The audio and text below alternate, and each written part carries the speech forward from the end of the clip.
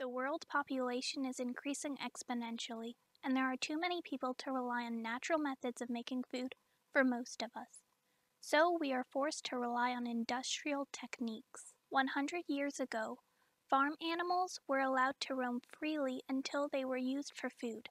But now, in factory farms, animals are kept in small cages indoors. The factory animals are kept and killed inhumanely. After hatching, male chicks are killed immediately, but the female ones are kept to produce eggs and are killed 42 days after, when they've gained so much weight so quickly that they're suffering.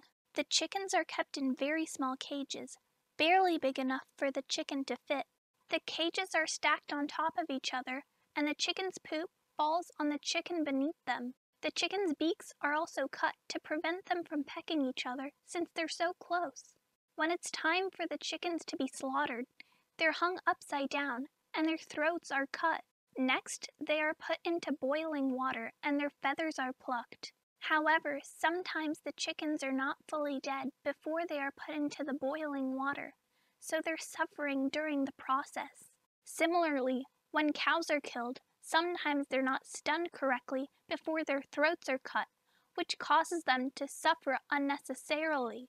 Even before dairy cows are killed, they suffer because of the process we use for milking in factory farms. The cows are never taken off the milking device. This continual suction on the udders causes bleeding and infection, which causes blood and pus to get into the milk. This is one reason why the milk is pasteurized. Since so many people drink milk and eat so much meat, there is a need for many cows. This huge amount of cows creates a lot of manure, which releases carbon dioxide into the atmosphere. Carbon dioxide is a greenhouse gas, and this cow manure releases the biggest amount, even more than car pollution, which accelerates global warming.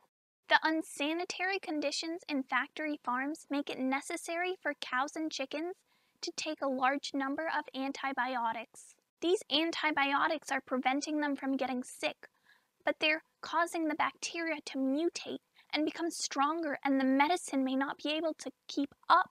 These antibiotics are ingested by us through the animal's meat. This leads to superbugs that are difficult to treat with normal antibiotics. You're not only consuming chemicals from your meat, but also from your crops. Traditionally, Crops are treated with pesticides and herbicides so that they remain healthy. Recently, organic foods have been a way for people to avoid these chemicals, but organic foods may not be as safe as you think. Some farmers don't spray their crops while they're being grown, but after they're cut, they spray the crops with chemicals to keep them fresh. These crops are considered to be organically grown. Some people are also fooled by the label of free range chickens they think that these chickens go wherever they want, but actually, the chickens are kept inside for most of their life. And then, in the last couple days, they're given the option to go outside. Since the chicken is used to being inside, it doesn't have the desire to go outside. Also, the outdoor enclosure is very small. Corn is the only food source for these chickens and a major crop grown in the U.S. Corn byproducts are found in everything, even though corn doesn't have a high nutritional value. Instead of growing all this corn for food, we should be creating corn ethanol from it. This corn ethanol is used to make biofuels, which is a better alternative to fossil fuels. The standard method of using fossil fuels as fuel pollutes the environment. Biofuels are a renewable energy source, unlike fossil fuels.